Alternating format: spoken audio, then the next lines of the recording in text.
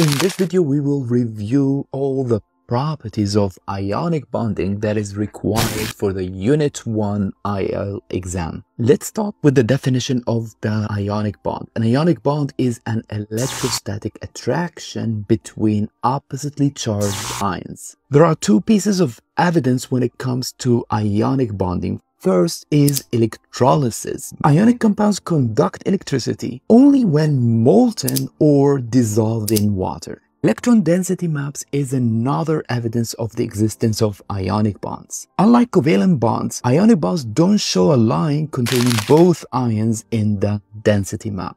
Ionic bonds are stronger when there are higher charges and when the ions are smaller. Both factors result in a higher charge density, which results in higher melting points. Ionic compounds show covalent character. This occurs when the cation is small and has a high charge, which results in a high charge density. This causes the cation to become polarizing, while the anion is large, which gets polarized or distorted.